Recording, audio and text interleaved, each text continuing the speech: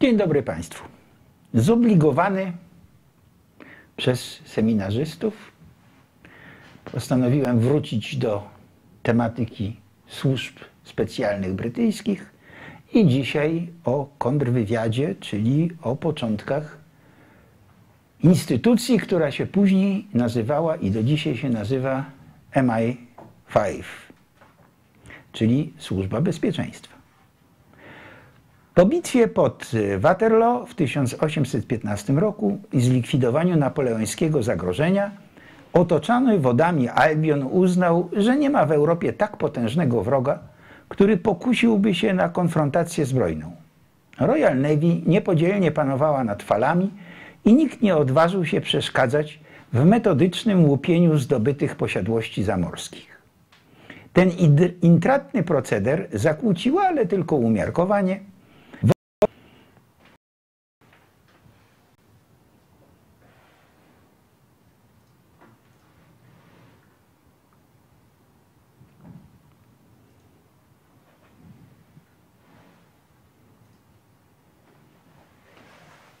Mieliśmy usterki techniczne, za które przepraszamy i startujemy raz jeszcze. Dzień dobry Państwu. Zobligowany przez seminarzystów kontynuuję dzisiaj opowieść o historii brytyjskich służb specjalnych, a dzisiaj o służbie bezpieczeństwa, która otrzymała w pewnym momencie swej historii desygnat MI5, czyli MI5, i ten desygnat ma do dziś, nosi do dzisiaj.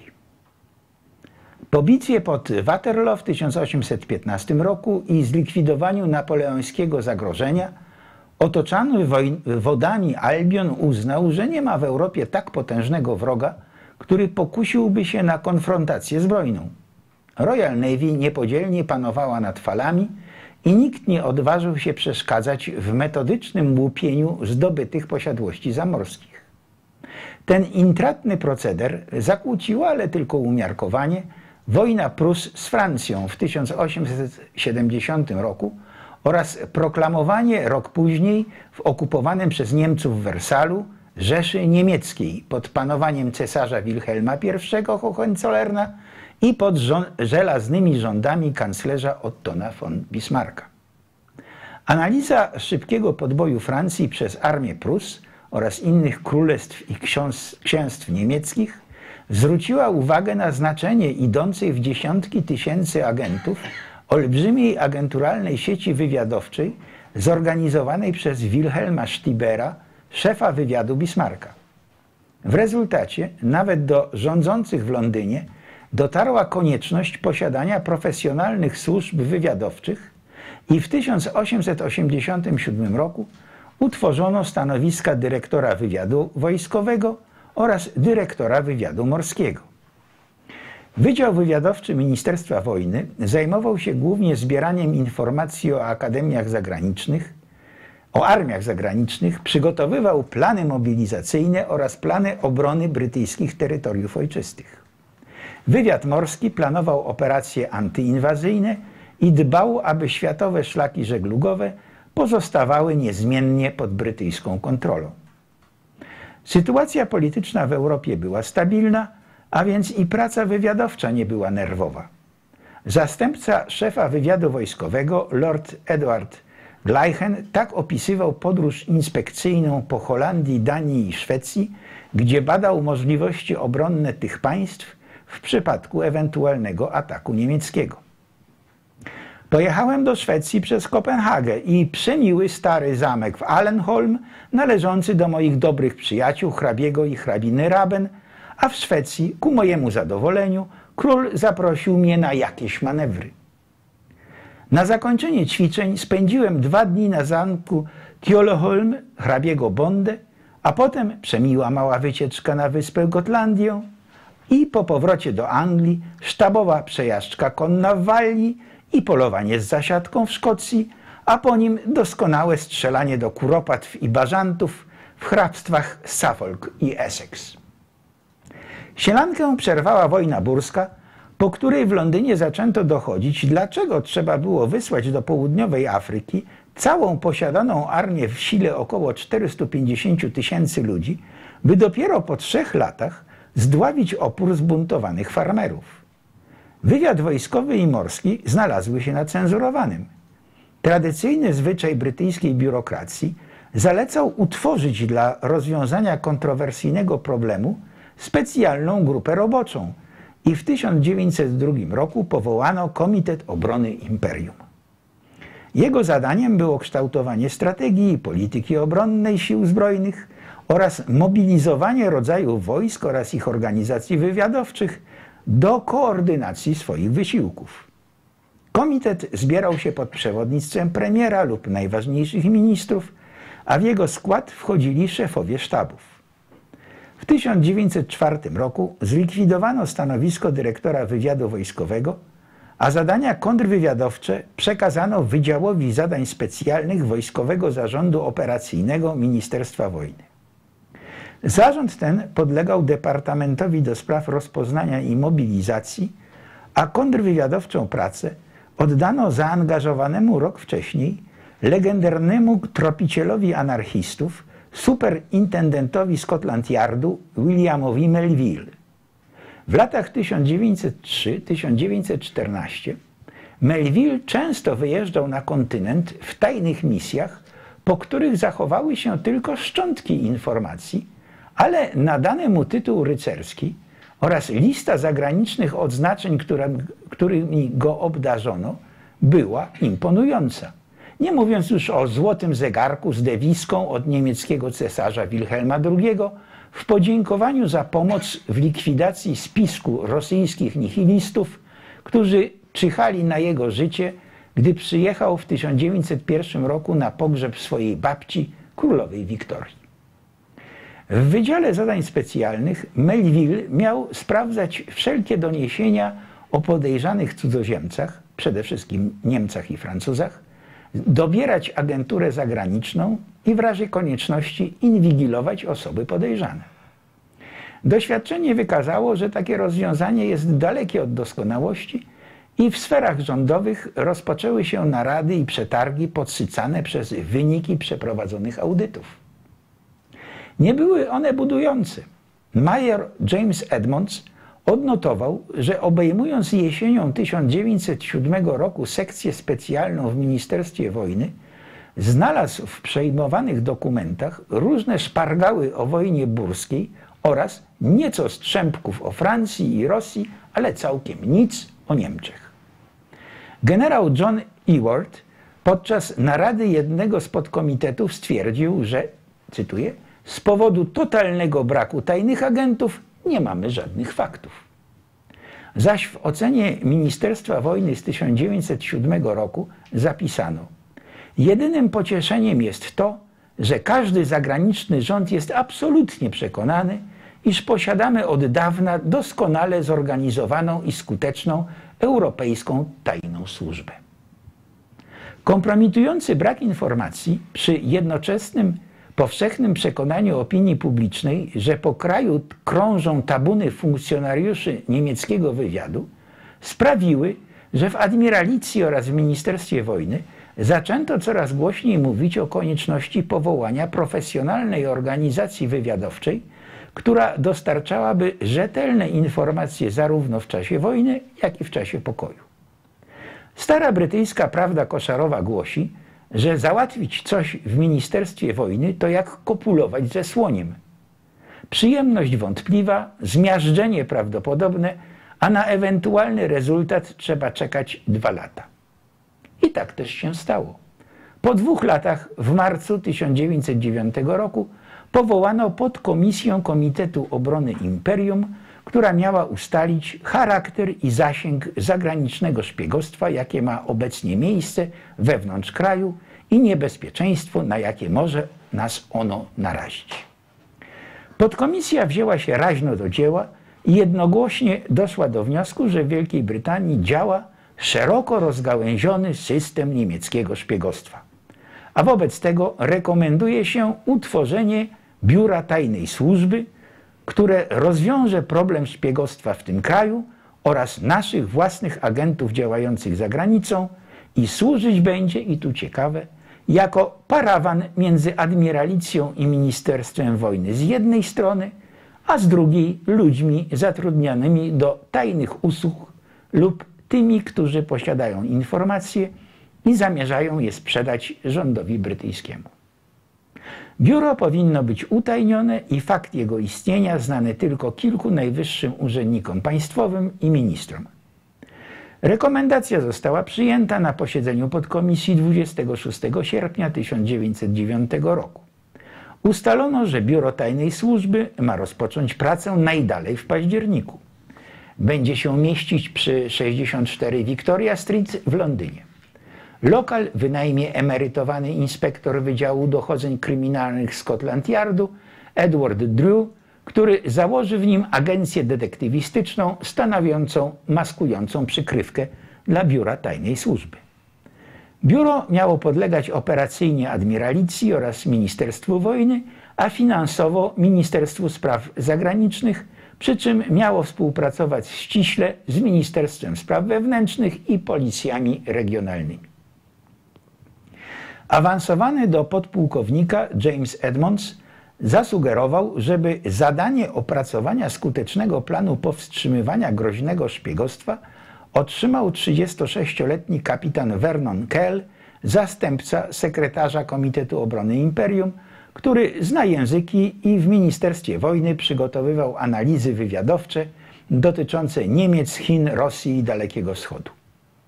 Żona kandydata, Konstancja Kell, zanotowała w swych wspomnieniach, że Vernon był zaskoczony ciekawą propozycją. Obawiał się jednak, że nie podoła, ale ja nie miałam najmniejszych wątpliwości, że odniesie sukces i entuzjastycznie popierałam, żeby się zgodził.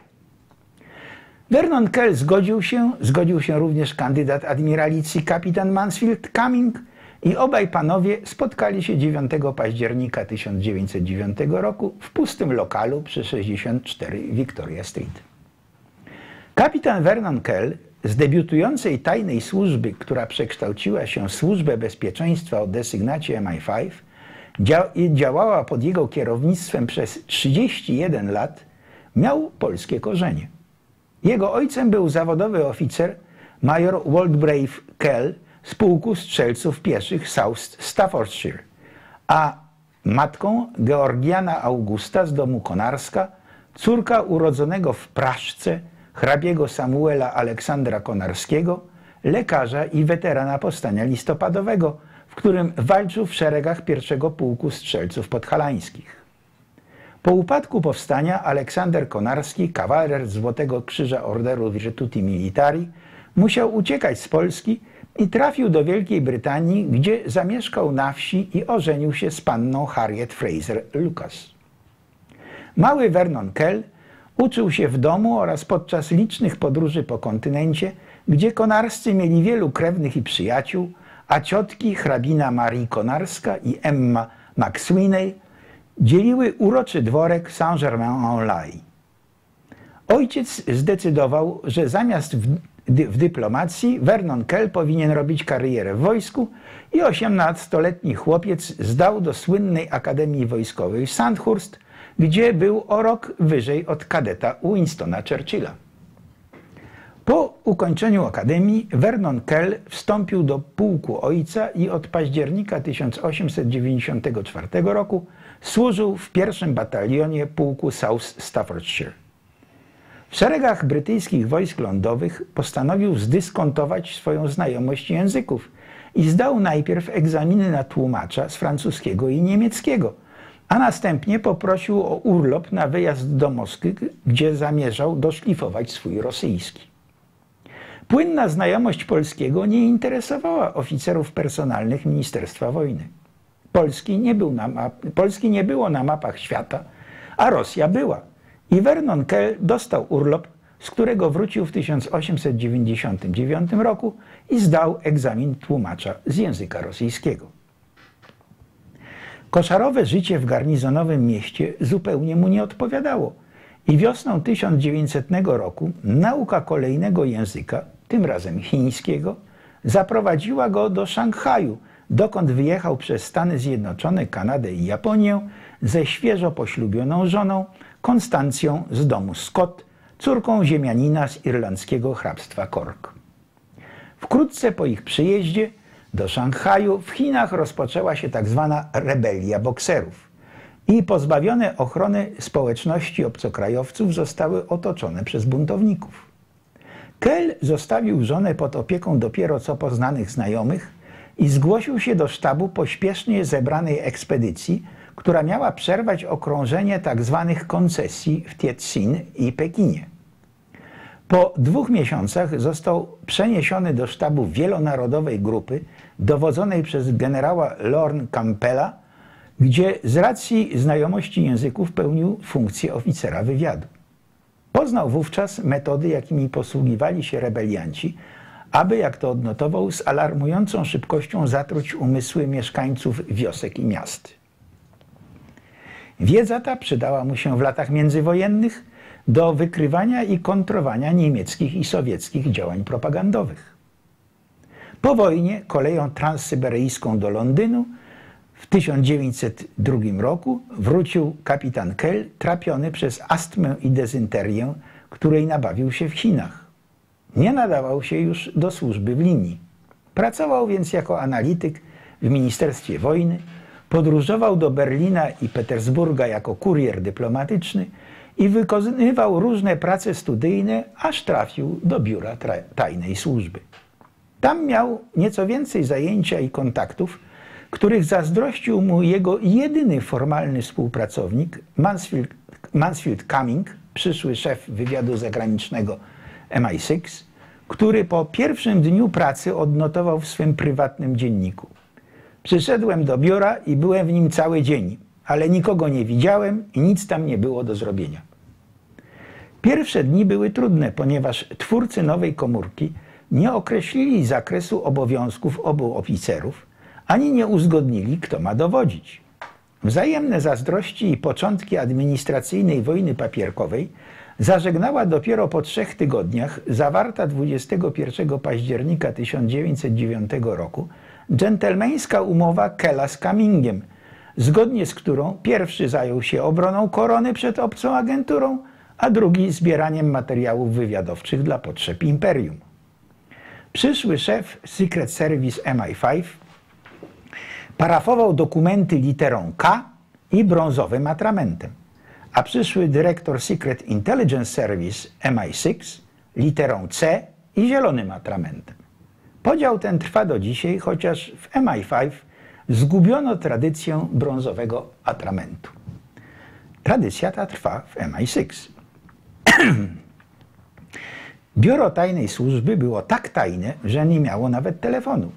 Kell i Cumming mieli zakaz spotykania się z kimkolwiek w biurze i podawania biurowego adresu, przyjmowania i wysyłania korespondencji z biurowym adresem. Mieli zorganizować sobie korespondencyjne skrzynki kontaktowe i przybrać fałszywe nazwiska. Kell dodał sobie tylko Y i przedstawiał się jako Kelly, a Cumming występował jako Cunningham. Początkowym zadaniem Kella było przestudiować zagrożenia państwa ze strony obcych służb wywiadowczych oraz przedstawić Komitetowi Obrony Imperium przepraszam, propozycje działań umożliwiających wykradanie tajemnic, uniemożliwiających wykradanie tajemnic państwowych. Do jego obowiązków włączono też ocenę zagrożenia ze strony działających w Zjednoczonym Królestwie organizacji wywrotowych utworzonych przez ekstremistów usiłujących zburzyć ustanowiony system władzy.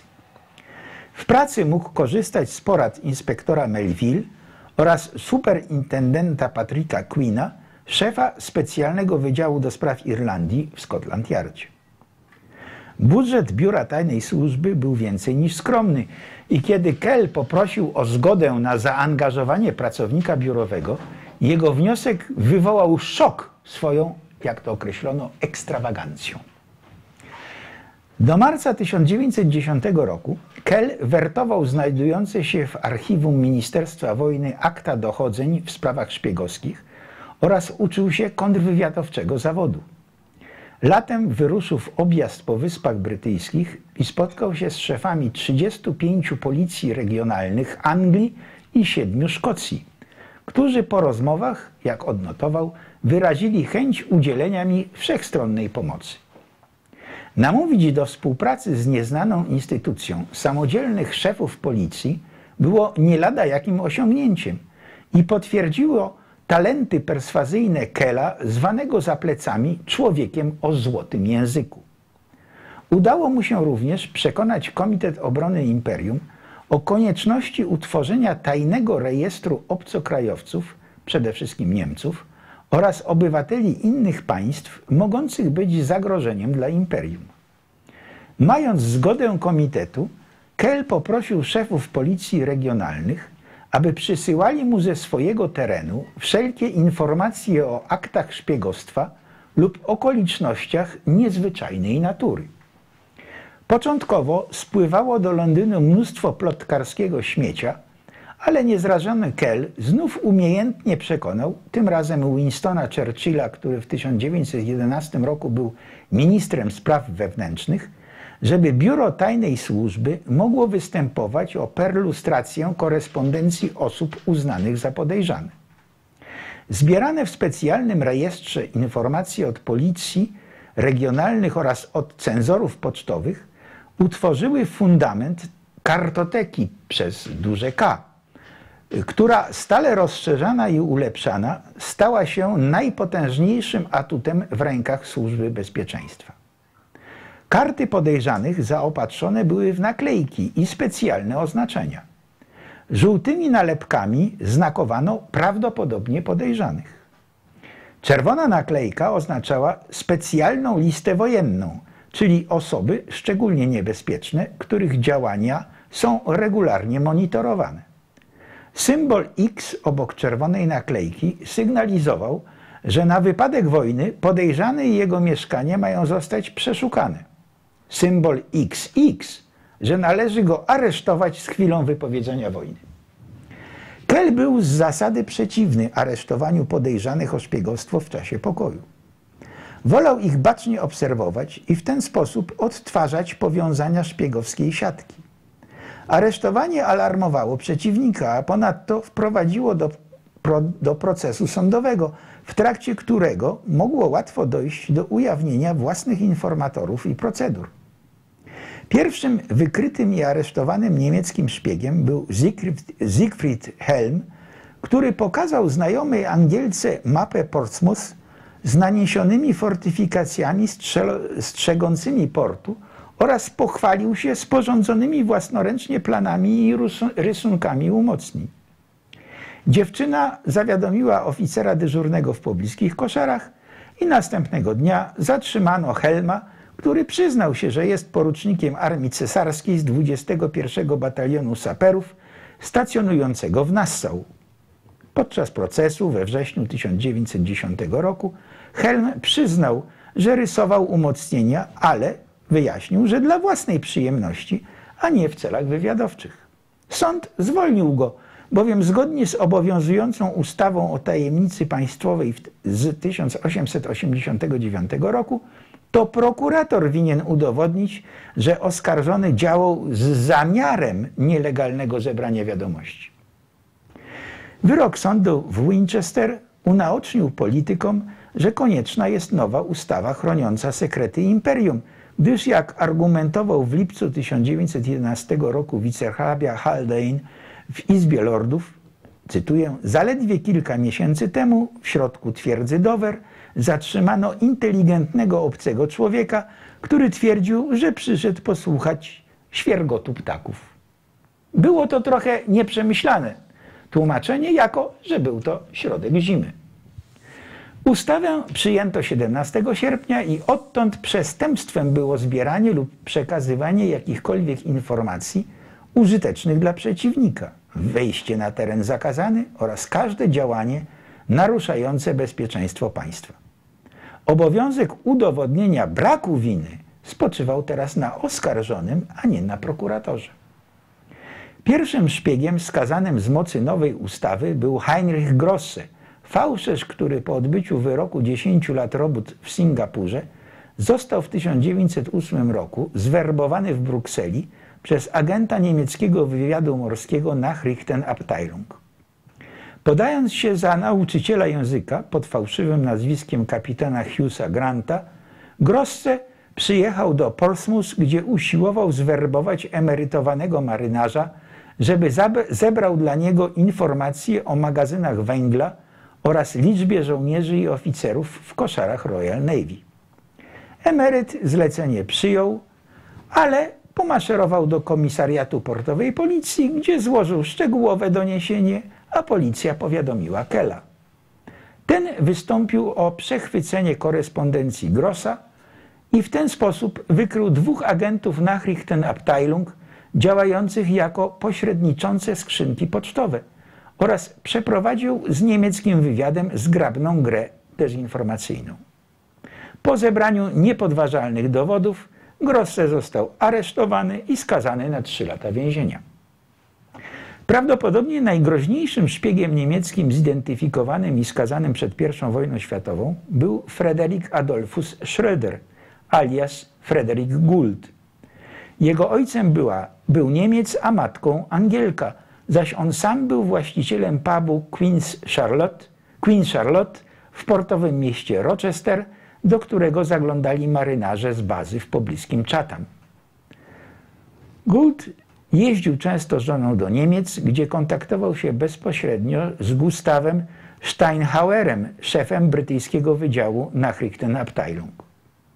Na podstawie cierpliwego przechwytywania jego korespondencji Kell nie tylko dowiedział się o działalności wywiadowczej Goulda, ale również o strukturze niemieckiej siatki w Wielkiej Brytanii. Na krótko przed wojną, w lutym 1914 roku, Kell polecił aresztować żonę Schrödera. Zatrzymano ją na londyńskim dworcu Charing Cross, kiedy miała przy sobie instrukcję artyleryjską oraz mapy portów Spithead i Bergen. Rewizja pubu przyniosła sporo materiału obciążającego i w kwietniu 1914 roku Schroeder skazany został na 6 lat ciężkich robót. Im bliżej wojny, tym Kell mógł coraz częściej angażować współpracowników. Osobiście selekcjonował wszystkich kandydatów do pracy w służbie bezpieczeństwa i sam prowadził z nimi rozmowy wstępne. Kell wymagał bardzo silnego poczucia odpowiedzialności, a ludzi spełniających jego kryteria najłatwiej mu było znaleźć we własnej warstwie społecznej. I dlatego mówiono, że oficerowie i personel biurowy MI5 ma pochodzenie wojskowo-ziemiańskie. Polityce personalnej Kela zarzucano snobizm, ale w rzeczywistości krył się za nią brak funduszy. Funkcjonariusze MI5 opłacani byli wyjątkowo marnie, a personel pomocniczy otrzymywał jeszcze mniej. Ograniczenia budżetowe sprawiały, że Kell mógł wypłacać podwładnym raczej kieszonkowe niż godziwe pensje, a więc szukał kandydatów wśród ludzi dysponujących sporymi dochodami prywatnymi. Udało mu się natomiast wytargować od fiskusa, że personel MI5 będzie zwolniony od podatków. Pracownicy służby bezpieczeństwa otrzymali specjalny numer kodowy, który mieli wpisać w pierwszym otrzymany, otrzymanym formularzu dorocznego zeznania podatkowego. Numer ten chronił ich przed dalszymi pytaniami lub roszczeniami urzędników skarbowych.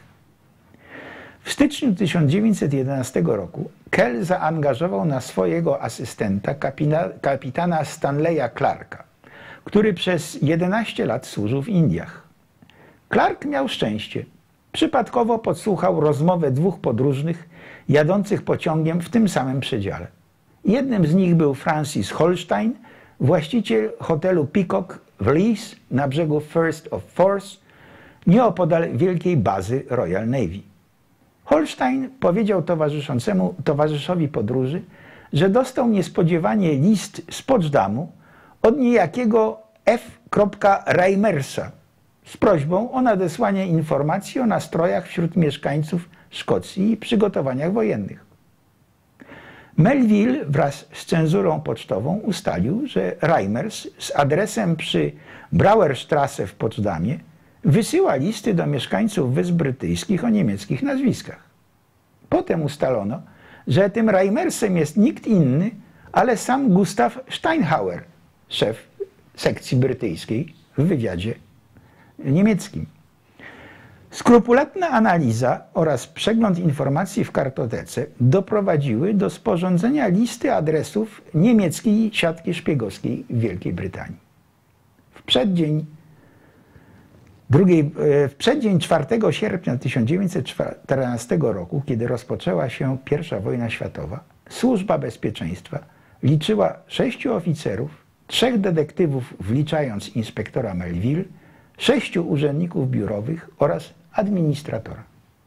Ta nieliczna, ale doborowa ekipa doprowadziła tuż przed wojną, dosłownie na godziny przed deklaracją o wypowiedzeniu wojny, do aresztowania 22 szpiegów niemieckiego wywiadu. Jeden uniknął aresztowania, bo był na urlopie w Niemczech. Współczesne analizy przeprowadzone w niemieckich archiwach wykazały, że nie byli to wszyscy agenci Nachrichtenabteilung, ale wyłapano najważniejszych. W rezultacie, jak odnotował zastępca Kella, Eric Holt Wilson, jeszcze 17 dni po rozpoczęciu działań wojennych, w decydującym okresie zaplanowanej z precyzją niemieckiej ofensywy, kajzerowski sztab generalny nadal nic nie wiedział o wysłaniu i ruchach naszych głównych sił ekspedycyjnych, chociaż w większym lub mniejszym stopniu w naszym kraju wiedziały o tym tysiące ludzi. W ciągu pięciu lat Vernon Kell zbudował służbę bezpieczeństwa, z którą należało się liczyć. I to w tym odcinku historii brytyjskich służb specjalnych już wszystko. Bardzo serdecznie dziękujemy. Bardzo Serdecznie dziękujemy i przechodzimy do pytań. Jak zwykle mogę powiedzieć, niektóre są bardziej, a niektóre mniej związane z tematem i od takiego mniej związanego z tematem zaczniemy. Ono było pierwsze. Pytanie zadaje seminarzysta o pseudonimie Locht. I pytanie brzmi, w klubie IPP, to chyba idź pod prąd, chyba o to chodzi. Nie, To jest, to jest telewizja, idź pod prąd. W klubie IPP mówił Pan o tym, że ma się ukazać nasza nowa doktryna na temat cyberprzestrzeni. Czy już coś wiadomo? Ja jeszcze nic nie wiem. E, Czy nawet nie wiem, czy się już ukazała, powinna się ukazać chyba 14 e, czerwca. Czyli śledzimy. e, Polecam to, zrobić to, co ja, to znaczy przeglądać strony internetowe tak zwanego ASWOJA, czyli Akademii Sztuki Wojennej. Kiedyś to się nazywało AON jeszcze niedawno, czyli Akademia Obrony Narodowej, ale to są strony jakieś takie dość bardzo dziwne, bo tam Zdaje mi się, że administrator tych stron to nie bardzo wie, co ma robić. W związku z czym ja jeszcze tam nic nie odkryłem, a nie bardzo wiem, gdzie bym się mógł tego dowiedzieć, żeby nie być potem, że tak powiem, ścigany przed e, z taką, taką instytucję jak Służba Bezpieczeństwa.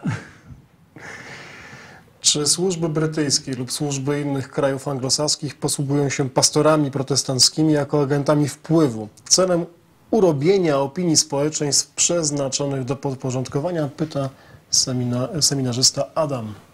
Proszę pana, agentami, tworzeniem agentury wpływów wszystkie służby zajmują się i mają, chcą werbować wszystkich możliwych ludzi, którzy mają wpływ na poglądy innych osób lub przekonania, lub inaczej, którzy mogą oddziaływać na świadomość.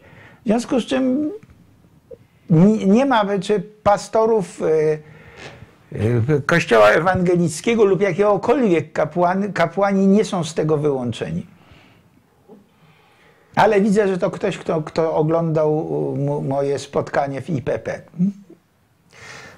Ostatnio były dwa zamachy na meczety w Mosulu i Mekce. Czy możliwe, że to ISIS, skoro oni są fanatykami religijnymi? To również pytanie od Lochta.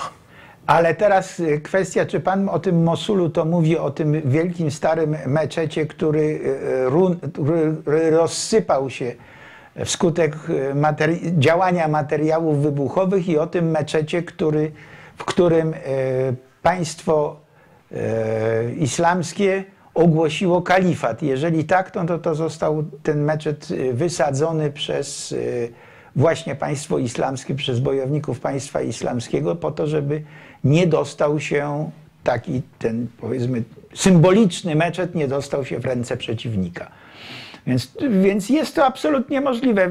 To, to nie jest państwo, które się, e, czy to nie jest grupa, czy to wszystko jedno, organizacja, która by się kierowała naszą logiką i naszym rozumieniem tego, co jest ważne, cenne, e, co należy chronić i tak dalej. To nie nasz system wartości. Kolejne pytanie pochodzi od y, seminarzysty o dźwięcznym e, synonimie czy pseudonimie czołg. Mówił Pan, że Polacy nie obyli się z bronią. Jednocześnie przytacza Pan przykład polityków, którzy dostają pozwolenie według legitymacji partyjnej, nawet bez egzaminu. Widzę były minister Grabarczyk. Jednocześnie od 13 lat można na dowód kupić broń czarnoprochową, przestarzałą, ale dalej skuteczną. E, Służby nie mają nad nią żadnej kontroli, a jednocześnie nie ma strzelanin z ów broni, pomimo tego, że każdy może ją kupić bez wiedzy służb. A od niedawna, chyba 2015, nosić załadowaną w miejscach publicznych. Przed podejmowaniem tematu proszę o zapoznanie się z aktualnym stanem prawnym. To jest. Ja mam prośbę, żeby formułować pytania krócej i tak, żeby były je- jednoznacznymi pytaniami, bo to bardziej wygląda na komentarz. Czy pan coś w tej sprawie? Jeden z naszych seminarzystów już podejrzewam, że to może być czołg, e, bo bardzo elementy są takie same. Właśnie mnie przekonywał, że e, w Polsce można praktycznie robić wszystko i jest koszmarny bałagan, jeśli chodzi o posiadanie broni. Ja nie jestem w tych kwestiach specjalistą, ja nie miałem czasu, żeby jego bardzo precyzyjne zresztą i przysłane mi argumenty przestudiować i sprawdzić i zweryfikować. Więc y, tutaj niewiele pomogę. Jeżeli, jeżeli panowie są, jeżeli panowie nie są jednym panem, no to w takim razie proponuję, żeby w jakiś sposób się skomunikowali, bo wtedy jeden udzieli drugiemu informacji i wymienią wiadomości oraz poglądy. Zwłaszcza, że to, co ja otrzymałem, jest naprawdę było bardzo szczegółowe i bardzo no, wiarygodne. Kolejne pytanie od Lochta. Czy słyszał Pan o książce Piotra Plebaniaka 36 forteli? Y, Chińska sztuka zarządzania wojskiem. Twierdzi on m.in., że Chińczycy są mistrzami podstępu, a jedwabny szlak to odwrócenie uwagi od przejęcia gospoda, i tu się urywa, rozumiem, że gospodarki. Nie, nie czytałem tej książki. Y, Czy mamy dowody, że pucz informacyjny z 16 grudnia był inspirowany przez Niemcy? To również pytanie od Lochta. Dowodów nie mamy żadnych. Natomiast y, no, kto nas najbardziej y, atakuje? I z jakiej strony jest w tej chwili moim zdaniem największe zagrożenie? To nie jest od strony Rosji, gdzie jest zagrożenie bardziej nazwijmy to tradycyjne, energetyczne, ale od strony Niemiec. Nie tylko dlatego, że mają narzędzia w postaci y, mediów i, i nazwijmy to w dużej mierze hegemonii medialnej, ale również dlatego, że popsuliśmy zabaweczkę Berlinowi. I cały plan. Dlatego przecież między innymi dlatego do nas, do Czech i do Węgier Komisja Europejska, czyli no, zespół kukieł y, Berlina y, miał, ma takie wielkie pretensje i wystąpił z takimi zarzutami, w ogóle zac- zaczyn... szuka kija, żeby nam przyłożyć. Z bardzo prostego powodu. Ponieważ jesteśmy, wszystko jedno, czy powiedzieć sojusznikiem, czy marionetką, nie gra roli, współpracownikiem Stanów Zjednoczonych w tworzeniu przeciwwagi i w paraliżowaniu wielkiej myśli Berlina i Moskwy o zbudowaniu wspólnej przestrzeni od Władywostoku po Lizbonę. Ten wielki plan, ten wielki projekt, jak to się dzisiaj ładnie mówi, to on już był bardzo blisko, blisko. Tyle tylko, że no, potknął się w tej chwili o Polskę, która i o Stany Zjednoczone. Dlaczego? Bo projekt ten jest po to, żeby wypchnąć Stany Zjednoczone z Europy i żeby Niemcy uwolniły się od kagańca trzech mocarstw okupacyjnych, czyli Wielkiej Brytanii, Francji i Stanów Zjednoczonych. Wielką Brytanię wypchnięto już prawie skutecznie za kanał i bardzo starają się Niemcy w tej chwili osłabić. Oczywiście, tu wracam do mojej przedmówczyni, za pośrednictwem Unii Europejskiej, czyli narzędzia, którym się Berlin posługuje w budowaniu swojej hegemonii. I Francję już zblatowano dokładnie, zresztą Francja sama się sprzedała, a w tej chwili no, obecny prezydent no, to jest pudelek y, pani Merkel, w związku z czym y, Francja się już też przestała liczyć. Z trzech mocarstw okupacyjnych, które mają nieusuwalne prawa zwycięzców i na nie się powołują i mogą w każdej chwili powołać, zostały Stany Zjednoczone. I podejrzewam, że powołanie się na te prawa było przyczyną bardzo kwaśnej miny pani Merkel po pierwszym spotkaniu z prezydentem Trumpem oraz wojny w tej chwili pod dywanem między Stanami Zjednoczonymi a Niemcami. Ponieważ w odpowiedzi na tą wielką strategię wspólnej przestrzeni rosyjsko-niemieckiej na całą Eurazję, w odpowiedzi Stany Zjednoczone odgrzały koncepcję międzymorza, czy jak teraz się mówi, trójmorza. Ta koncepcja wkłada, praktycznie likwiduje, nie do, bo przecież to będzie blokada, będzie to pas, który będzie blokował połączenie się interesów Moskwy i Berlina. Wobec czego, jeżeli tutaj powstanie silna, silna bariera, no to Stany Zjednoczone nie zostaną wypchnięte. Jeżeli dojdzie do, do utworzenia tej wspólnej przestrzeni, to Stany Zjednoczone zostaną zredukowane z mocarstwa globalnego do mocarstwa regionalnego za oceanem, to znaczy z jednej strony za Pacyfikiem, a z drugiej strony za Atlantykiem. Do czasu przynajmniej będą tylko sobie mogły być mocarstwem regionalnym. A nikt nie lubi być redukowany. W związku z czym Stany Zjednoczone, przy czym najpierw think tanki, potem wojskowi, a w tej chwili do nich dołączył prezydent, postanowili, post prowadzą politykę, która no, przypomina Berlinowi, że chwileczkę, chwileczkę, ale jesteście okupowani, macie zobowiązania wobec mocarstwa okupacyjnego. I nie podskakujcie specjalnie. To zresztą jest widać po, po różnych zabiegach gospodarczych. No przecież zwróćcie Państwo uwagę, że jak tutaj o Nord Stream 2 się zaczęło, a pamiętajmy, że Nord Stream 2 będzie patrolowany, bo to sobie zastrzegła w umowie dwustronnej e, Moskwa, że ma być patrolowany i bezpieczeństwo gwarantuje flota bałtycka. Czyli będą sobie mogli pływać tam i z powrotem wzdłuż nitki gazociągu, a oraz wzdłuż polskiego wybrzeża i robić co chcą. I prowadzić nasłuch, prowadzić radiowy wiatr, prowadzić cokolwiek bądź. A w razie czego zaatakować. I na, jaka jest odpowiedź na to była od razu amerykańska? Odpowiedź była taka, że do, do, do Świnoujścia przypłynął gazowiec tak, z gazem skroplonym amerykańskim. Przecież koncepcja Nord Stream 2 i dalszego, dalszej siatki gazociągów płynem poprzez Niemcy to jest koncepcja, żeby tym gazem trzymać w szachu z jednej strony, żeby Polska nie miała możliwości przykręcenia kiedyś kurka albo tego gaz, w gazociągu przyjaźń, żeby Ukraina nie miała możliwości przycięcia gazu rosyjskiego, natomiast żeby Niemcy prowadziły rozdawnictwo i dystrybucję gazu nie tylko na Polskę i Ukrainę, ale również na całą Europę środkowo-południową, czyli na Bałkany i na środkowo-wschodnią.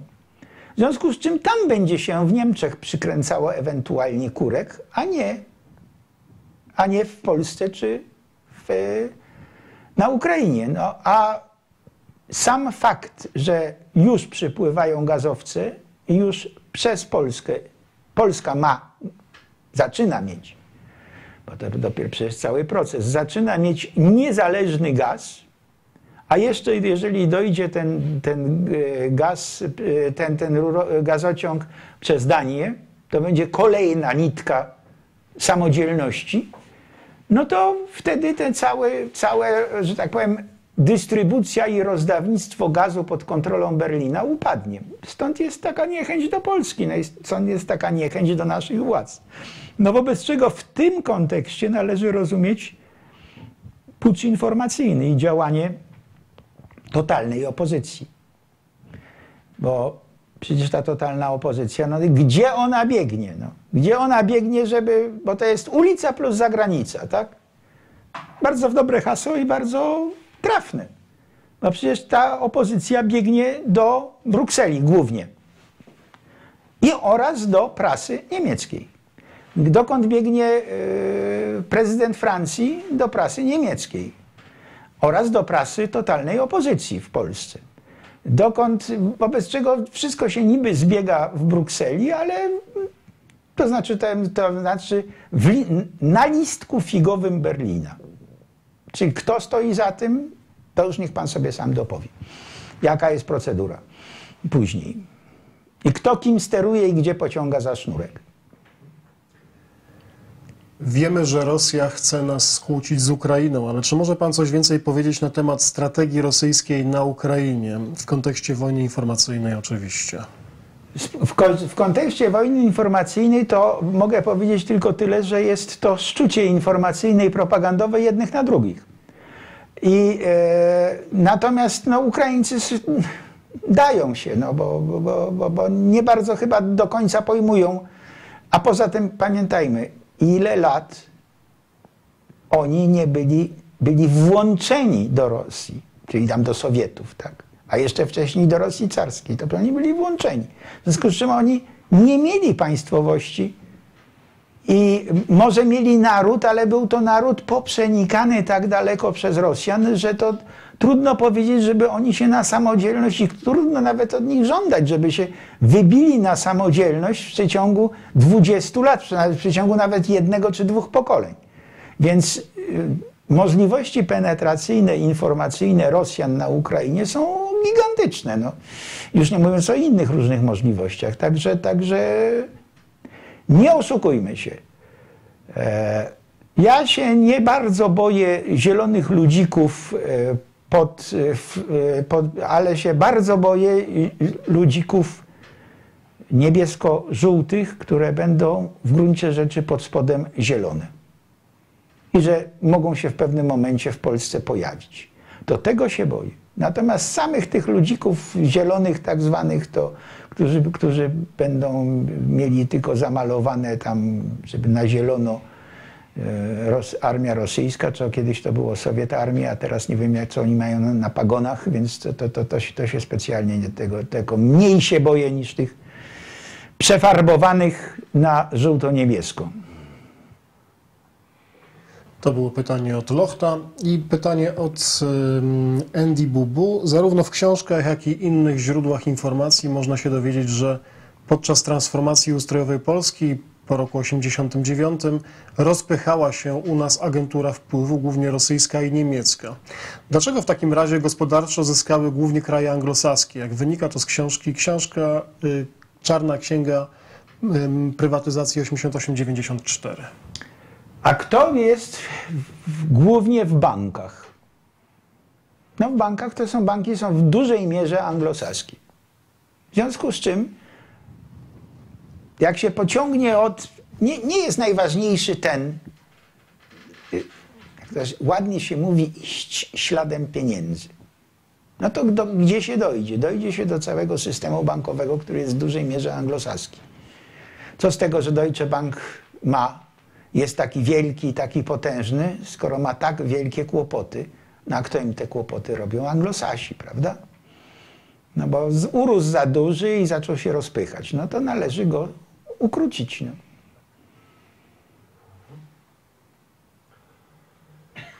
I Jakie główne zmiany organizacyjne wprowadziłby Pan w polskich służbach specjalnych? To również pyta Andy Bubu.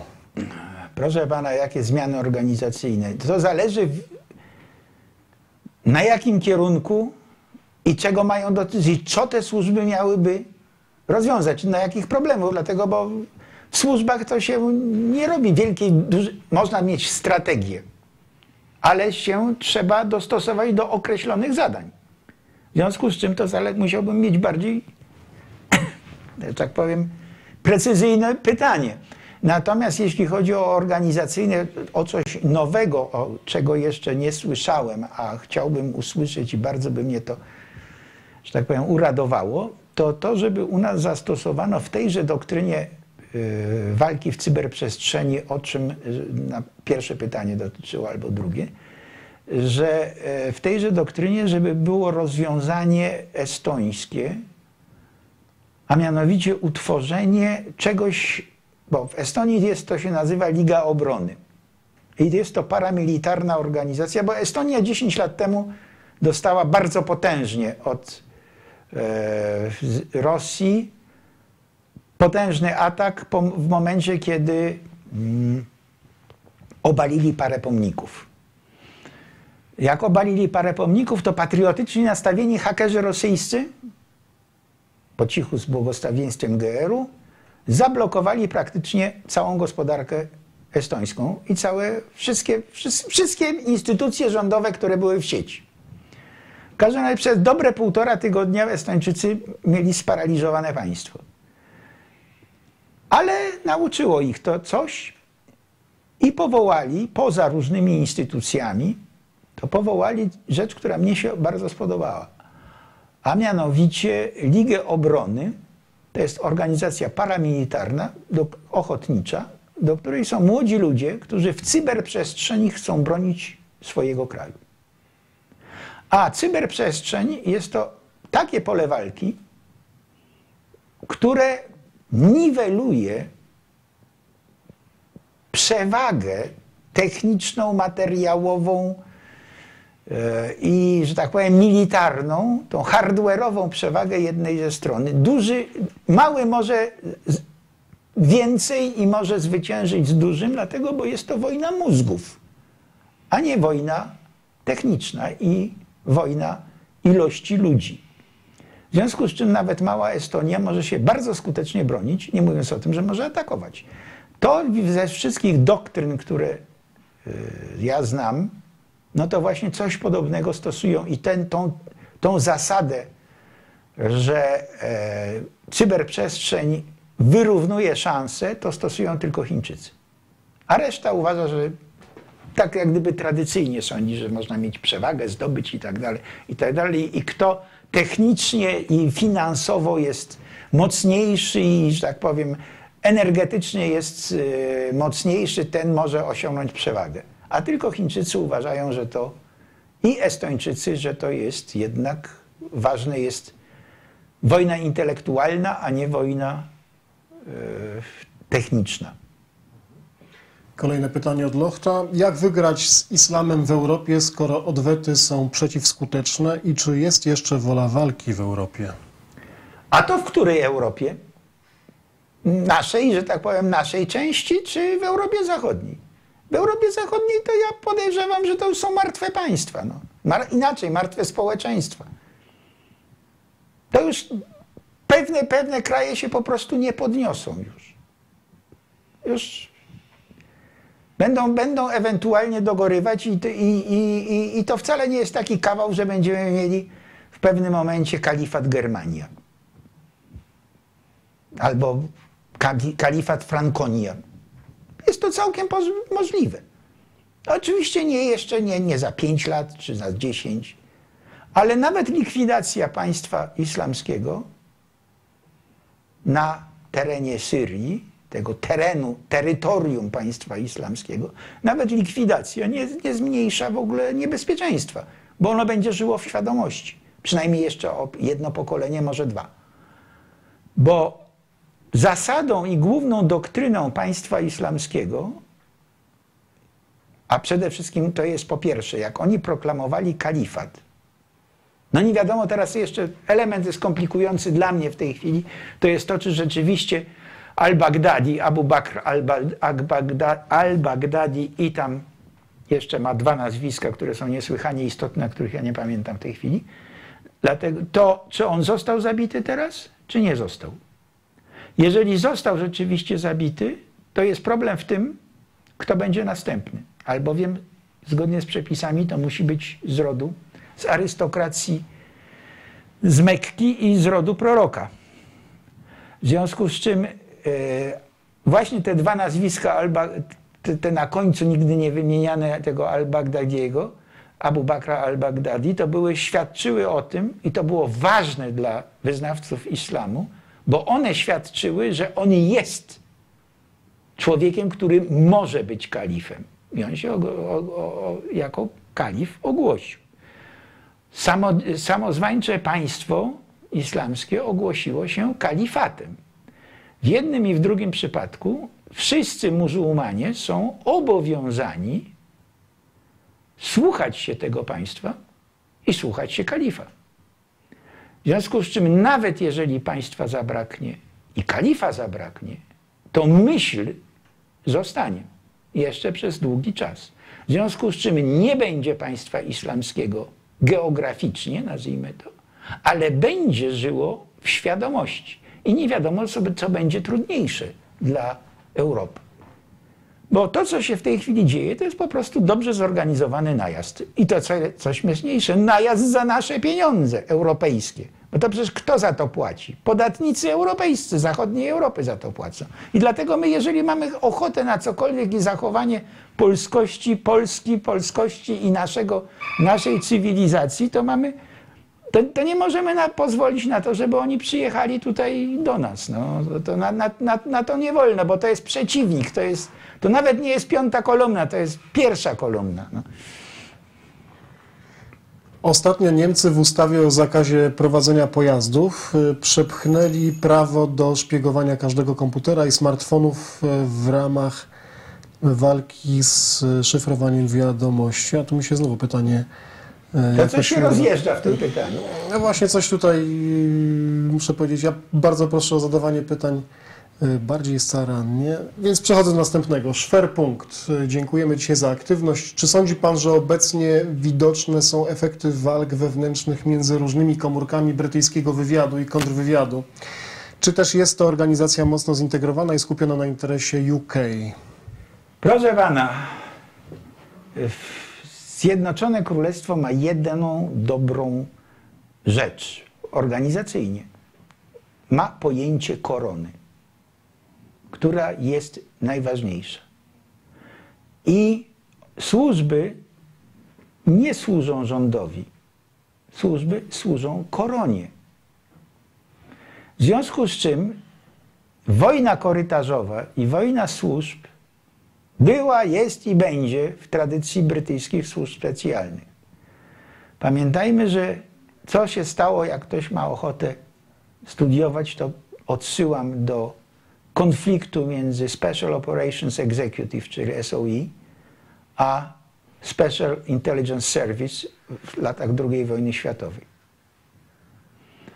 Konflikt był tak wielki, że po wojnie, po pierwsze, Natychmiast rozwiązano SOI jako konkurencję i spalono i zniszczono większość archiwów SOI.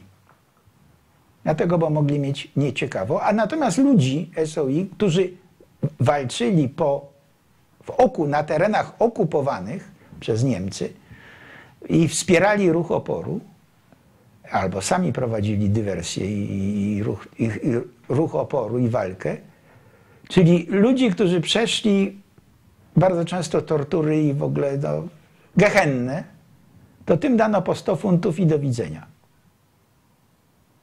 W związku z czym, dlaczego? Dlatego, bo SOI było konkurencją dla Secret Intelligence Service i należało się tych uzurpatorów pozbyć. No i się pozbyto ich. Między innymi przecież dlatego zginęła e, Christine Granville, czyli Krystyna Skarpek, uważana za najlepszą agentkę y, aliancką na terenach okupowanych. Więc dlatego, bo ona dostała też 100 funtów i, i do widzenia. I nikt, nikt się ją nie zajął, ona nie, nie, ma, nie ma ojczyzny, do której ma wrócić, nie ma rodziny, która się rozpadła, nie ma miejsca na ziemi, nie ma, nie ma mieszkania, nie ma nic. Ma 100 funtów. No i nies- niestety podpisała na siebie wyrok, jak przynajmniej tak jeden z, z dobrych historyków służb brytyjskich tak twierdzi, e, podpisała na siebie wyrok, bo zaszantażowała, że jeżeli ona nie dostanie jakiejś porządnej pracy i możliwości życia, to ujawni to, co wie o katastrofie w Gibraltarze. I została wkrótce potem przez zazdrosnego, odrzuconego kochanka, a inaczej starającego się o nią, zasztyletowana. Rosja w doktrynie ma wpisane, że używa potencjału protestacyjnego ludności. A czy Zachód też to wykorzystuje przeciwko Rosji? Bo od czasu do czasu pojawiają się spontaniczne protesty. Oczywiście, że tak. No bo to, to, to należy do kanonów yy, dywersji, nazwijmy to informacyjnej. Bo to już jest dywersja informacyjna. Podburzanie do protestów. Yy, tylko kwestia tego, że zresztą w jednym, w jednym tylko tu strasznie trudne, bo jak słyszę pytanie Zachód, kto na Zachodzie? Proszę Państwa, nie ma czegoś takiego jak jedna służba, naz- nazwijmy to zachodnia. Nie. Rządy mogą, rządy mogą współpracować, rządy mogą być sojusznicze, służby mogą współpracować albo mogą nie by- być soju, sojusznicze w pewnych określonych przypadkach.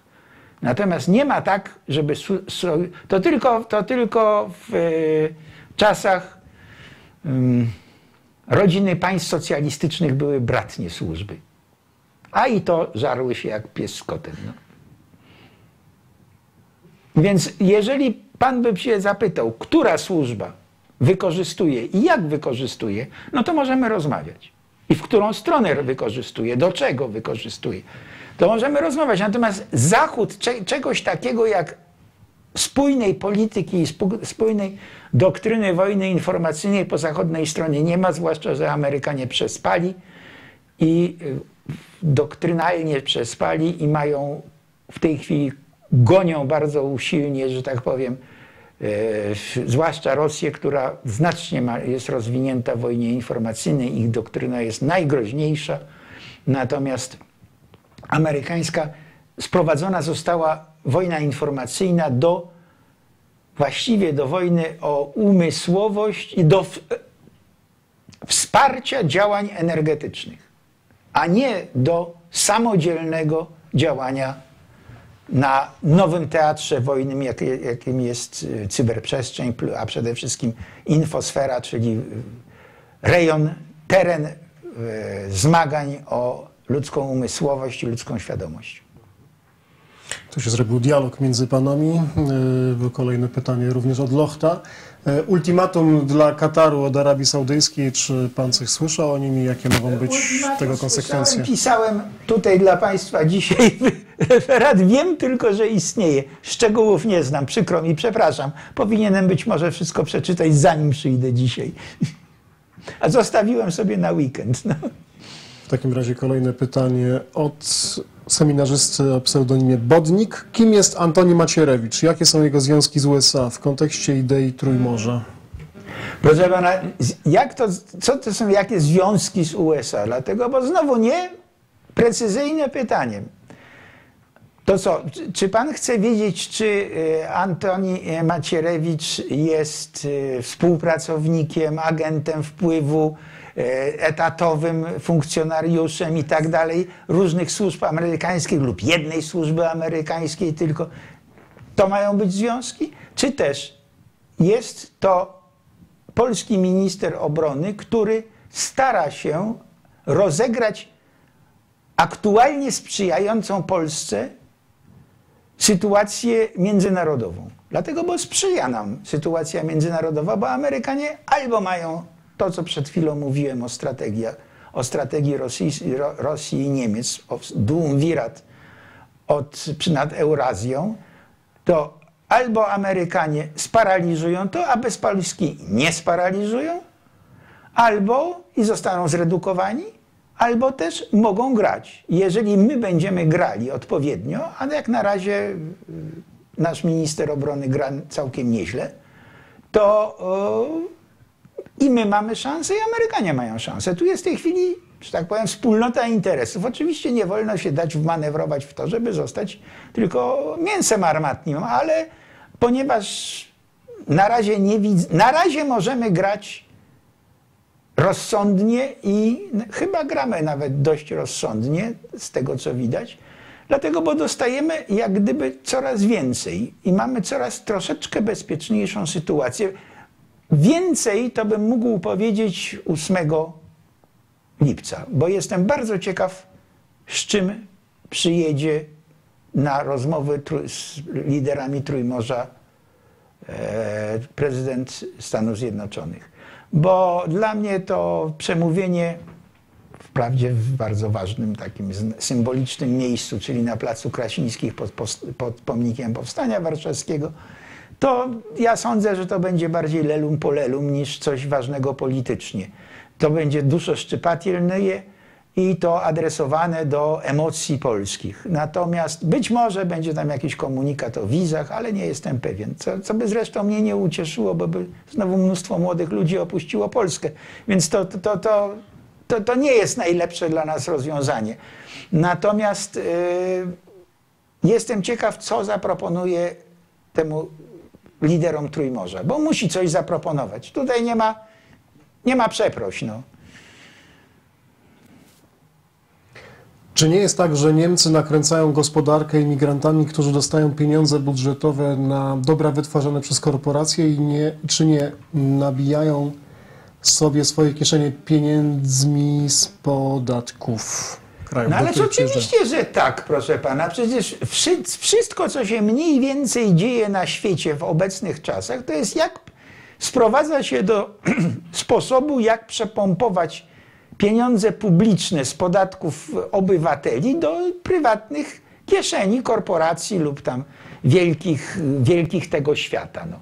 To, to na tym to polega i teraz na różne sposoby się to wykonuje, to przepompowywanie. No tyle tylko, że tutaj zdaje mi się Niemcy trochę przefajnowali i mogą, no jak, jak, nie roz, jak nam nie wepchną tych uciekinierów, tfu, takich tam uciekinierów. Przecież to są w najlepszym razie dezerterzy, tak? To co oni? Zostawili rodziny, chłopy na schwał, zostawili rodziny, nikt tam nie broni y, kobiet, dzieci, starców, tylko wszyscy dają dyla do Europy. Tak i oni są uciekinierzy. No nie oszukujmy się, to jest ładnie to sobie można opisywać.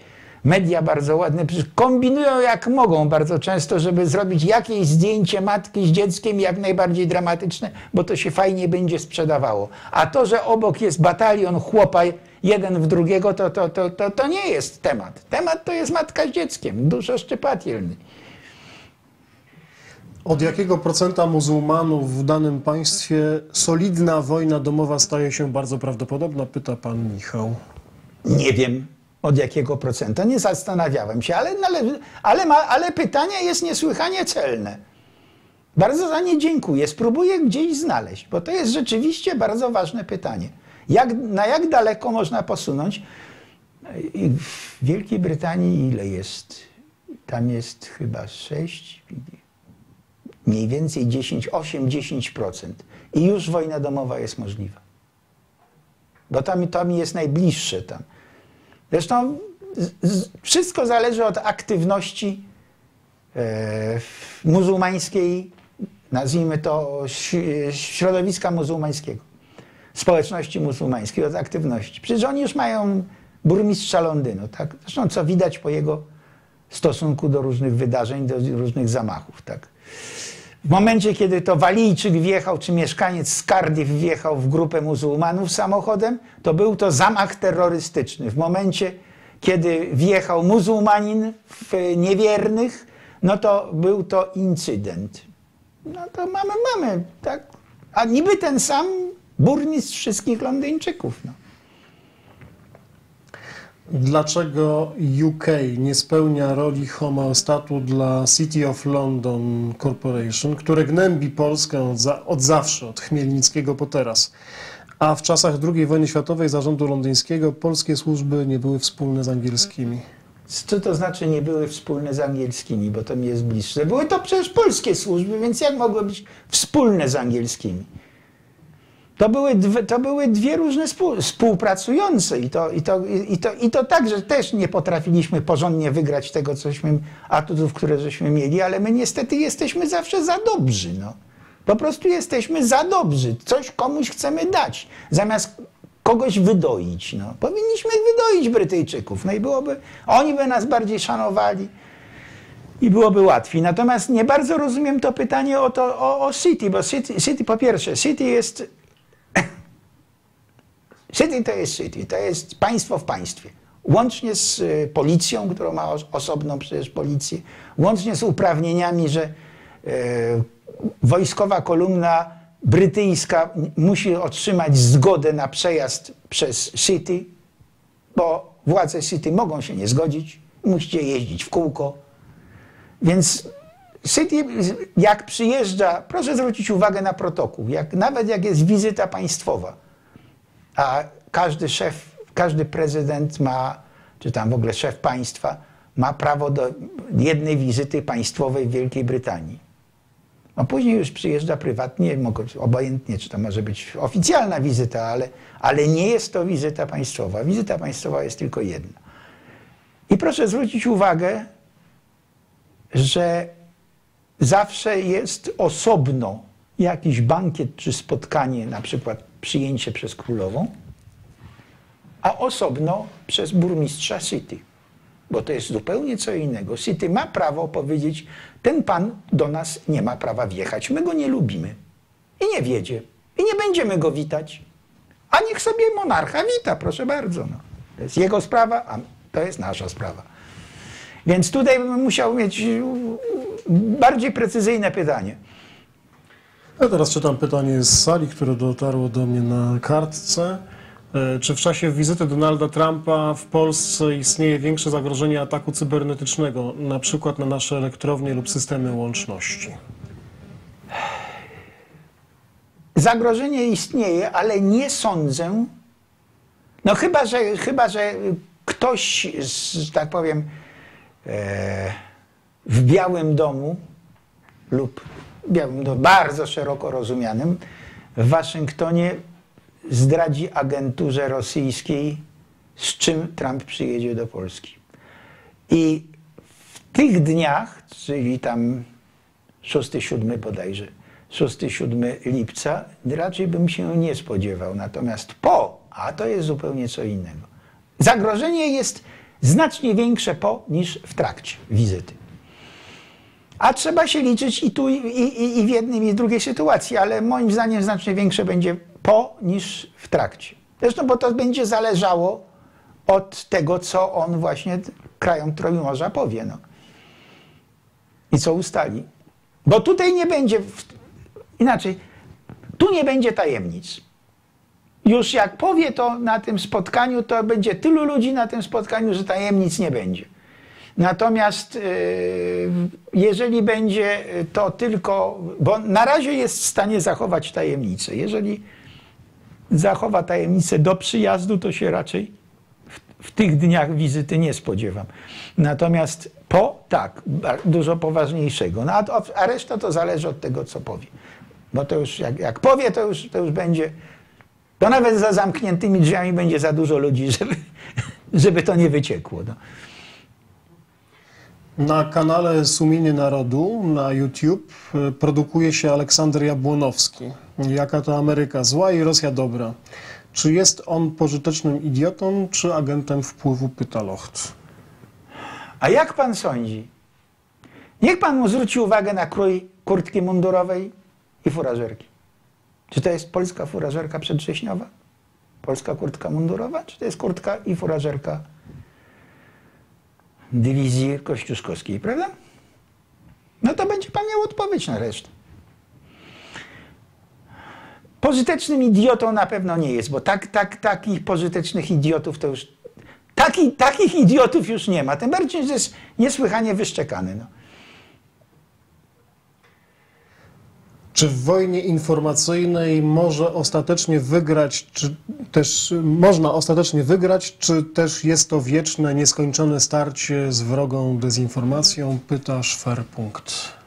Proszę pana, to jest wojna o świadomość. Jeżeli odda pan swoją świadomość przeciwnikowi, no to pan przegrał.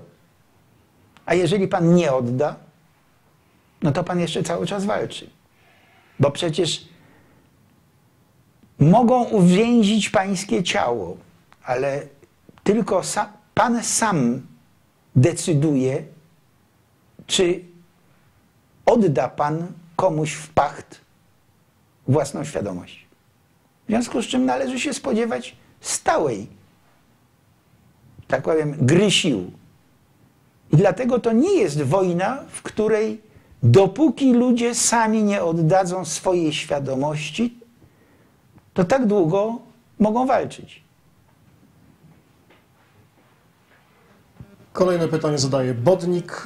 Czy agentem jakiejś służby jest y, Wojciech Sumliński? Co go motywuje do pracy, jaką wykonuje? Mam na myśli książki, spotkania autorskie. Czy jego rola osiągnęła punkt kulminacyjny podczas wyborów w 2015? Proszę pana, nie wiem, dlatego żadnej jego książki nie czytałem. Czy są jakieś cechy, które są charakterystyczne dla osób obcej agentury działające w Polsce? Czy jest y, pewne zachowanie, które powinno zwiększyć naszą czujność? Pyta pan Arkadiusz. Ojciec dyrektor mówi po owocach ich poznacie. I, I to jest dużo racji, dlatego że ulukrować sobie swoje wypowiedzi to każdy potrafi. Jedna z cech, to proszę zwrócić uwagę na to, jak ludzie mówią, bo zwłaszcza w telewizji i w radio, w elektronicznych środkach, jak ludzie mówią, co mówią i w jaki sposób mówią. Bo jeżeli ktoś jest mocno wyszczekany, płynnie mu to wszystko idzie, to znaczy, że jest najprawdopodobniej przeszkolony. On nie jest ekspertem, bo ekspert miał zawsze zastanowienia. Dlatego, bo ma on bardzo dużo, jak to jest.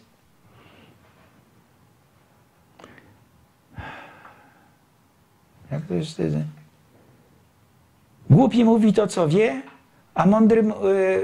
Yy, nie, nie, pamiętam, jest, takie, jest takie, takie dobre przysłowie. W każdym razie, jeżeli ktoś bardzo płynnie i bardzo. Yy, elokwentnie, szermując albo bardzo naukowymi, mądrze brzmiącymi słowami, albo eufemizmami, albo za, w ogóle ogólnikami, ale w, w tempie karabinu maszynowego wystrzeliwanymi, to najprawdopodobniej jest po przeszkoleniu. Jak jest po przeszkoleniu, to jest w jakiś sposób agenturalny, agenturą. Natomiast, bo ekspert się zastanawia, ekspert wie i zna swoje ograniczenia, w związku z czym musi się zastanowić, bo albo inaczej by nie, był, nie, nie miałby wiedzy, chyba że jest po prostu lewym, fałszywym ekspertem, czyli takim, że tak powiem, powołanym do tego, żeby być autorytetem. Więc na to należy zwracać uwagę. Ludzie, którzy coś wiedzą, zastanawiają się, kiedy mówią.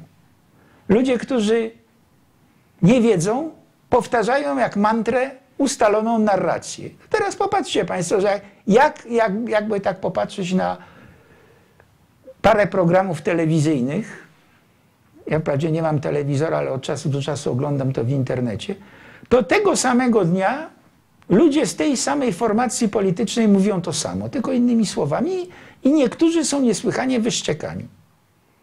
I to ci wyszczekani, według mnie ci wyszczekani to są najbardziej podejrzani. No. Czy Polska może się obawiać wojny energetycznej przy zbytniej stanowczości wobec jakiegoś państwa, na przykład wobec Niemiec? Pyta elektryk. A jak pan to sobie wyobraża z Niemcami? No tutaj to akurat mało się boję. Wojnę energetyczną może z nami poprowadzić y, Rosja. To tak. e, w pewnym momencie wojnę partyzancką, będącą, czy, czy tam wojnę, e, dywer, dywersję prowadzącą do e, wojny energetycznej w- mogą poprowadzić Ukraińcy w imieniu Rosji. Ewentualnie Rosja przejmie ich działania. To, co jest możliwe. Ja sobie nie wyobrażam, żeby w Niemczech było nawet chęć do tego. Przecież to tam połowa. No, chyba, że powołają rzeczywiście. To, to jeszcze nie teraz, ale za kilkanaście lat, to owszem, jak powołają Janczarów, już będą mieli Janczarów, no to wtedy jest to możliwe. Ale, ale tak to nie. Jak pan myśli, jakie są prawdziwe powody Brexitu? Pyta Andy May. Brytyjczycy mają, mieli już absolutnie dość. Brytyjczycy mieli absolutnie dość wtrącania im się Unii Europejskiej. Ja mówię o ludziach, tych, co głosowali. Bo tam na pewno są całe grupy, mają różne interesy. I tam jest przecież bardzo silna ta grupa, e, nazwijmy to przemysłowa, która w ogóle i globalistów, która nie ma najmniejszej ochoty na żaden Brexit. Ale ludzie ci, co głosowali, to po prostu mieli dość pogardło już wtrącania się Unii Europejskiej we wszystko. Mieli pogardło, e, że tak powiem, ustalania kurwatury, bo to się tak nazywało, ustalania kurwatury ogórka. Mieli pogardło w- wyroków, e, wyroków Trybunału w Strasburgu Praw Człowieka, który i- jak imama, ch- który już w ogóle szczuł y, muzułmanów na niewiernych i go w końcu postanowiono go deportować, to oczywiście nie wolno go wydalić, dlatego, bo tam biedaczek będzie miał prawa człowieka, mu naruszono i tak dalej, i tak dalej. I tego Brytyjczycy mieli dość. Już nie mówiąc o tym o wtrącaniu się w ich w ich, do wielu ich spraw e, codziennych. No. Poprzez ró- różne regulacje administracyjne i, i dyrektywy unijne. Jak należy dyskutować z ludźmi przesiąkniętymi medialną propagandą, aby coś do nich dotarło? Z miejsca traktują każdą niepoprawną opinię jak paranoję, schizofrenię typu wiara w UFO. Pyta Insanely Sick. Proszę, proszę pana, jest to niesłychanie trudne. Bo jeżeli ktoś jest zaimpregnowany na wiedzę, no to pan nic nie poradzi. Ale trzeba mieć samemu dużą wiedzę, obojętnie na ten temat, który pan chce poruszyć. To pan musi mieć taką wiedzę i argumenty rzędu cyfry, nazwiska i tak dalej, i tak dalej,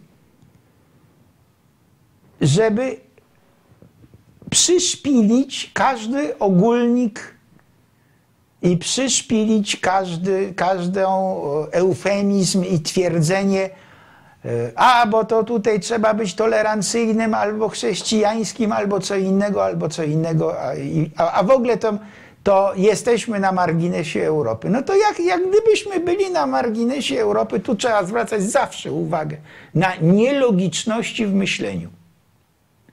Bo tak, ktoś tutaj teraz, wczoraj czy przedwczoraj wyczytałem, że ktoś tutaj z polityków ważnych, z totalnej opozycji mówi, teraz znaleźliśmy się na marginesie Europy. No dobra, dobra, jak gdybyśmy byli na marginesie Europy, to by taki prezydent Francji nam w ogóle nie chciał przyłożyć, e, Niemcy by nam nie chcieli przyłożyć, Komisja Europejska by nam nie chciała przyłożyć. To nie jesteśmy na marginesie, bo kto się interesuje marginesem?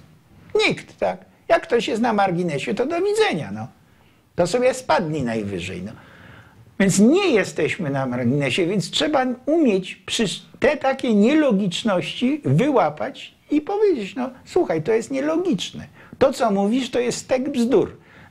I mieć jednocześnie w zapasie dużą wiedzę, żeby móc powiedzieć. Więc dlatego ten, kto chce walczyć w wojnie informacyjnej, musi mieć dużą wiedzę.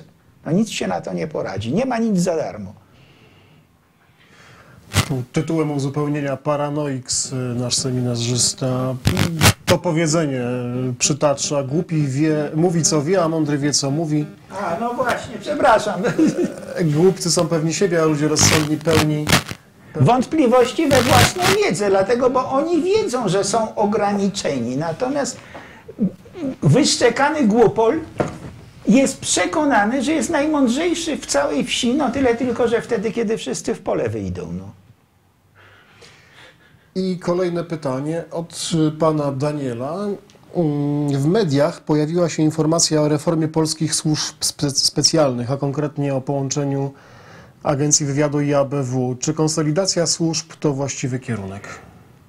Proszę pana, to wszystko zależy, jak to się zrobi, dlatego że przed wojną mieliśmy tylko jedną służbę.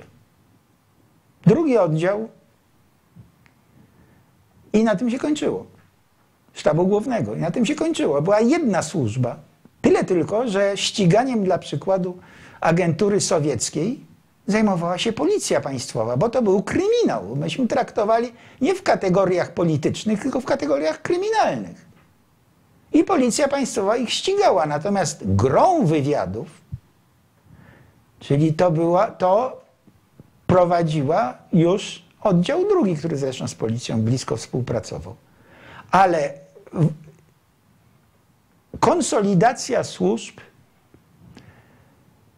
ogranicza walkę korytarzową służb i konkurencję między jednych i drugich. Przecież w Sowietach była taki układ, był trojka, no bo jaka, jak to może być? Musi być trojka.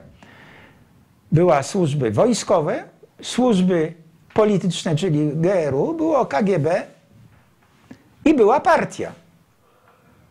I teraz partia sobie rozgrywała obie służby, a, ob, a każda ze służb, które się żarły jak, i żyły jak pies z kotem, wystarczy poczytać książki Suworowa.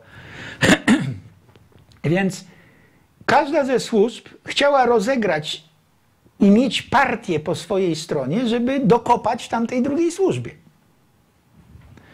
A partia rozgrywała bardzo umiejętnie, raz tym, raz tym.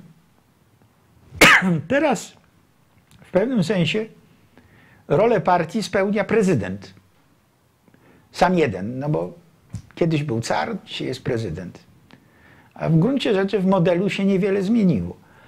I on szczuje jednych na drugich lub rozgrywa jednych i drugich.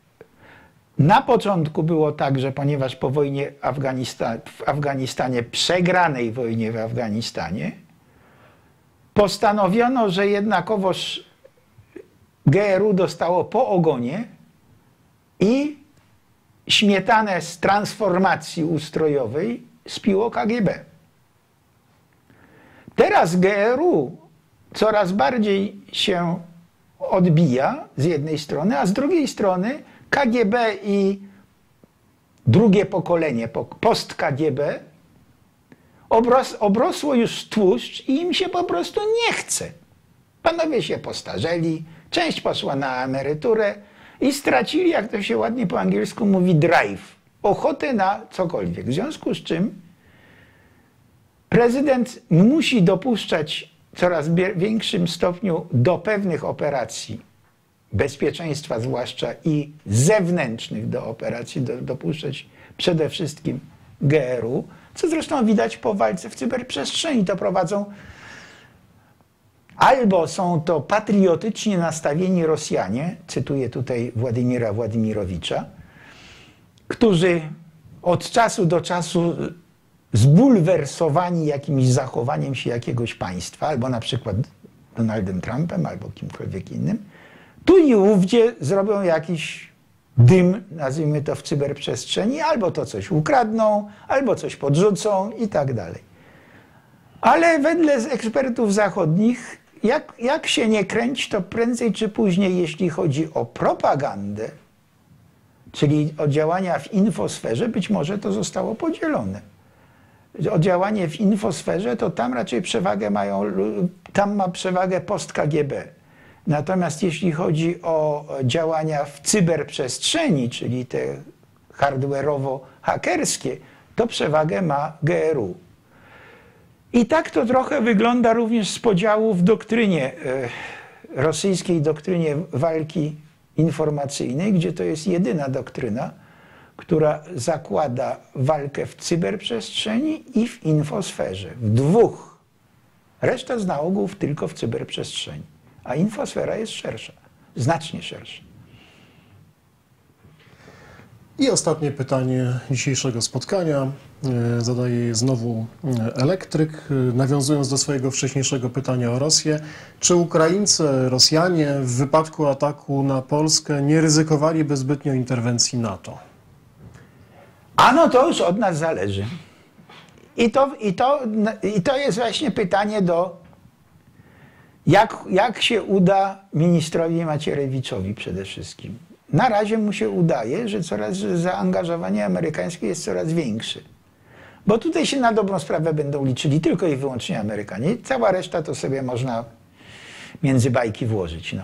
Y, kto tutaj przyjdzie, tak? No, wyobraża pan sobie wojska niemieckie, które mają po 8 godzinach, zabraknie im pieniędzy na, na, na godziny nadliczbowe i jak w trakcie manewrów wezmą i po prostu nagle przerwą, bardzo przepraszamy. Dalej w ćwiczeniach nie możemy uczestniczyć, bo nasz limit godzin nadliczbowych się skończył. No przecież tak było, no ile? Rok temu. Więc albo to jest porządna armia, albo mamy euroarmię. No euroarmia to jest w ogóle, nie wiem, dla mnie to to jest jakaś koncepcja wzięta z Marsa.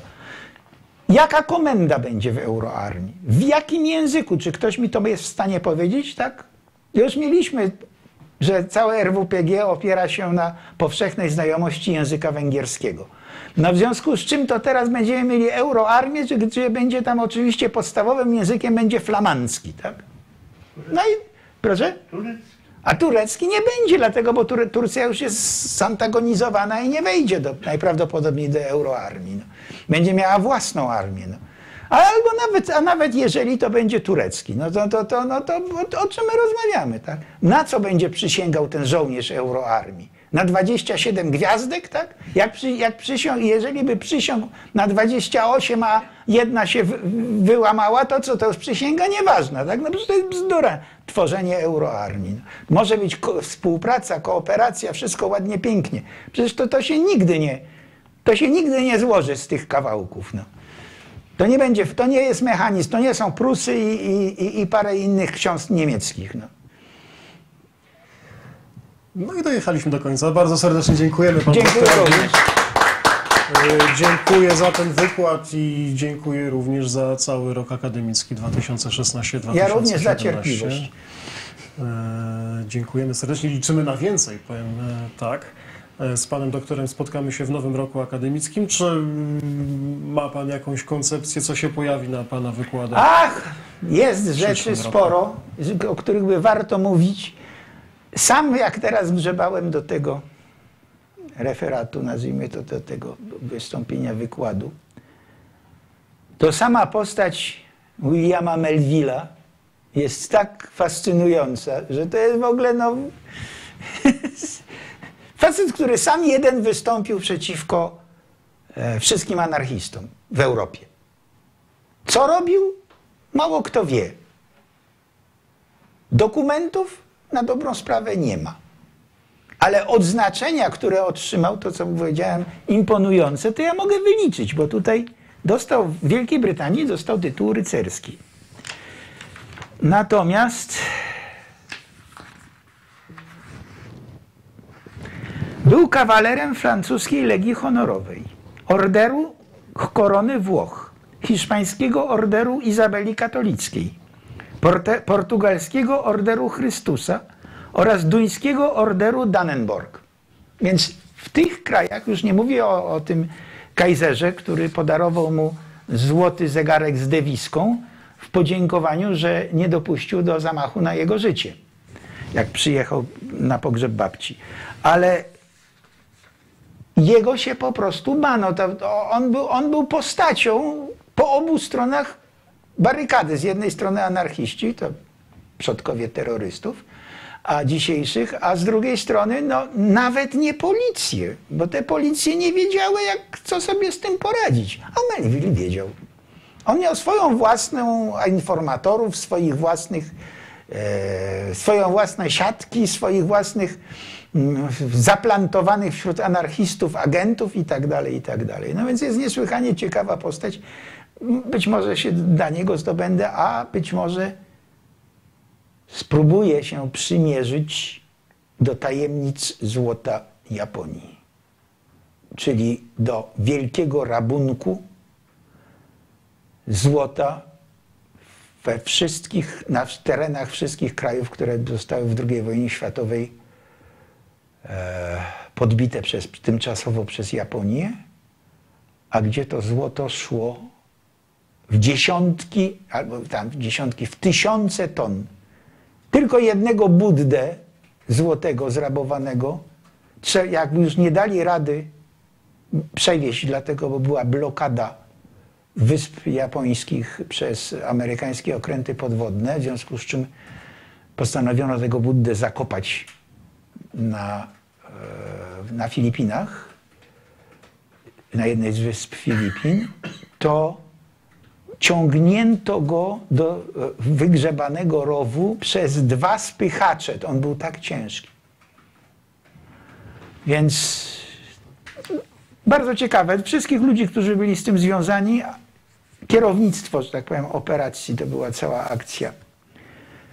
E, chyba Biała Orchidea to się nazywało. W każdym razie e, cała e, akcja była kierowana tylko i wyłącznie przez rodzi- członków rodziny cesarskiej, natomiast wszystkich świadków, ludzi, którzy cokolwiek z tym mieli wspólnego, likwidowano.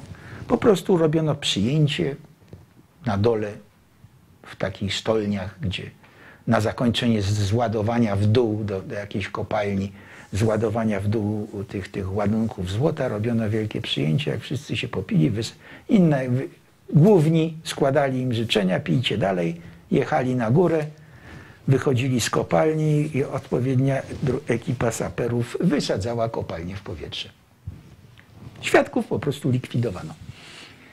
Podobno pana prezydenta Marcosa, prezydenta Filipin, jego osobisty majątek był taki wielki, to mniej z rabunku, e, że tak powiem, gospodarki kraju też, ale w mniejszym stopniu, a na większym stopniu w tym, że zrabował złoto, które znaleziono, a było to złoto wcześniej zrabowane przez Japończyków. Więc to by był też fajny temat, ale ho, ho, ho, ho, ho, ho. Trzeba jeszcze mieć siły, siły i czas. No. Czekamy i liczymy w takim razie na wiele Ale coś będzie, no. tematów Coś się zrobi. w nowym roku. Dzięki serdeczne i życzymy udanych wakacji. A Dziękuję. Pozdrowić naszych wszystkich seminarzystów, te 121 osób, które nas teraz ogląda i kilkaset, które się przewinęło dzisiaj i pewnie tysiące, które nas oglądały w tym roku akademickim. Serdecznie pozdrawiam i dziękuję za wszystkie cenne, celne pytania, polecenia, lajki ogólnie udział w naszych przedsięwzięciach. Życzymy udanych wakacji i widzimy się na przełomie września i października. O terminie jeszcze poinformujemy. Dziękujemy, do widzenia, do usłyszenia.